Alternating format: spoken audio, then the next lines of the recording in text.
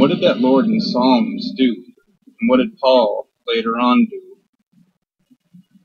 They they they swore. You know, okay, or that's that Lord in Psalms did swore and not repent, and then Paul agrees with it.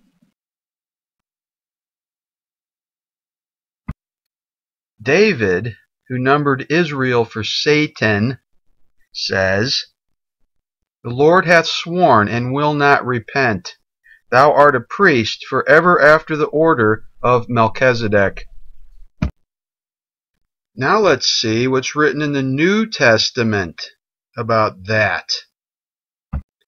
For he testifieth, Thou art a priest forever after the order of Melchizedek.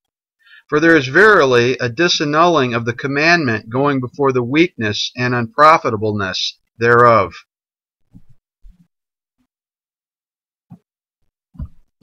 Ah, James 5:12.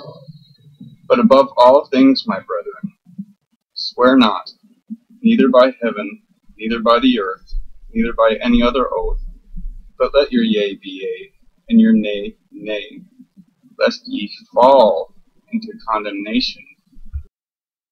So why trash Paul about it when it was David that said, The Lord hath sworn and will not repent? To the chief musician, a psalm and song of David.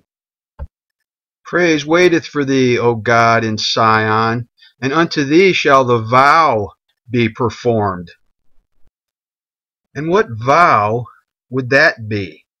Now Mount Sion is Hermon, per Deuteronomy 448, and Hermon is where Semjaza and his associates made mutual imprecations, agreeing to take wives of the daughters of men, and giants were born unto them.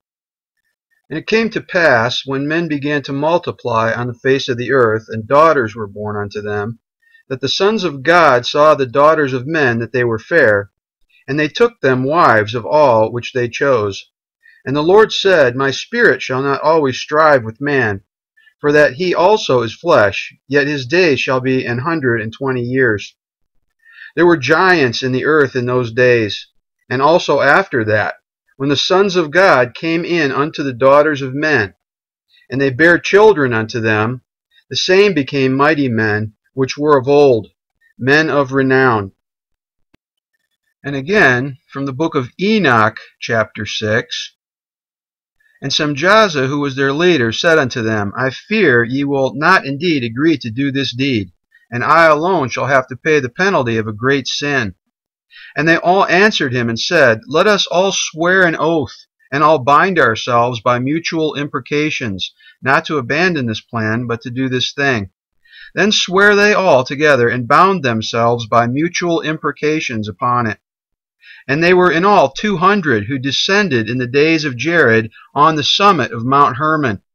And they called it Mount Hermon because they had sworn and bound themselves by mutual imprecations upon it.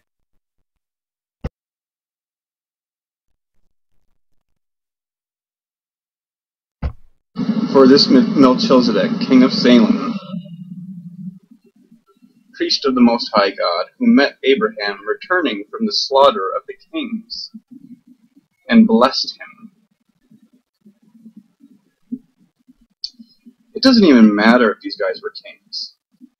I mean, there's not even a, there's not even documentation in the Bible or the Urantia book about these guys doing anything wrong.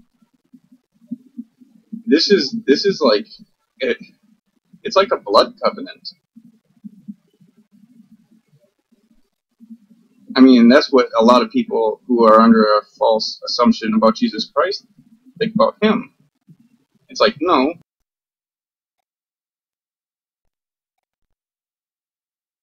Then Jesus said unto them, Verily, verily, I say unto you, except ye eat the flesh of the Son of Man and drink his blood, ye have no life in you. And I heard a loud voice saying in heaven, Now is come salvation and strength, and the kingdom of our God and the power of his Christ. For the accuser of our brethren is cast down, which accused them before our God day and night. And they overcame him by the blood of the Lamb and by the word of their testimony, and they loved not their lives unto the death. For ye are not come unto the mount that might be touched, and that burned with fire, nor unto blackness and darkness and tempest, and the sound of a trumpet, and the voice of words, which voice they that heard entreated that the word should not be spoken to them any more. For they could not endure that which was commanded. And if so much as a beast touch the mountain, it shall be stoned, or thrust through with a dart. And so terrible was the sight that Moses said, I exceedingly fear and quake.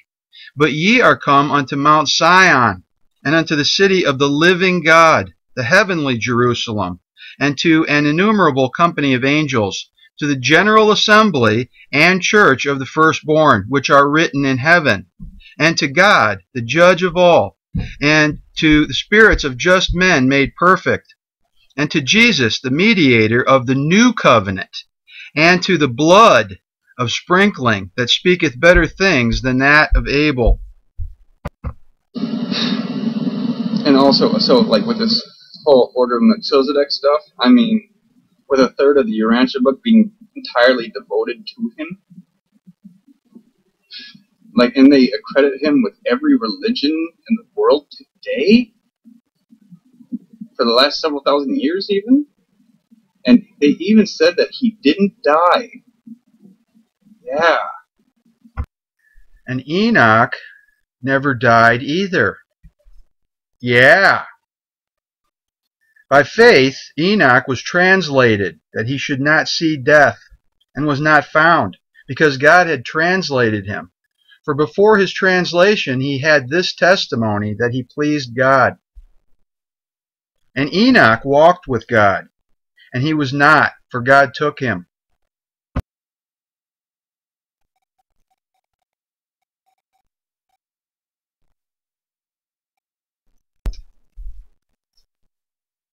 Thou shalt not lie with mankind as with womankind. It is abomination. For this cause God gave them up unto vile affections, for even their women did change the natural use into that which is against nature. And likewise also the men, leaving the natural use of the woman, burned in their lust one toward another, men with men, working that which is unseemly, and receiving in themselves that recompense of their error which was meet. And even as they did not like to retain God in their knowledge, God gave them over to a reprobate mind to do those things which are not convenient.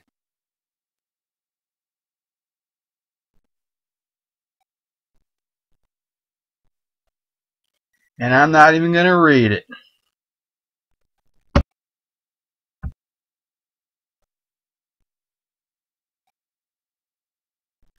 Now the weight of gold that came to Solomon in one year was six hundred threescore and six talents of gold. Here is wisdom. Let him that hath understanding count the number of the beast, for it is the number of a man, and his number is six hundred threescore and six. The beast that thou sawest was and is not and shall ascend out of the bottomless pit and go into perdition. And they that dwell on the earth shall wonder whose names were not written in the book of life from the foundation of the world, when they behold the beast that was and is not and yet is. There's something wrong here. And like even his name, Melchizedek, it adds up to 101. It's the same as that symbol, the bullseye. Bullseye adds up to 101. And it's a study of vanity, really.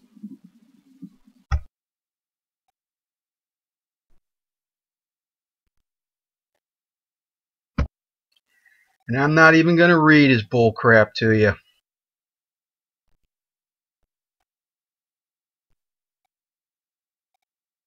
I mean, if you can justify or at least prove some other way, uh, like uh, maybe something else was intended or meant, then maybe, who knows, but it just doesn't ring true.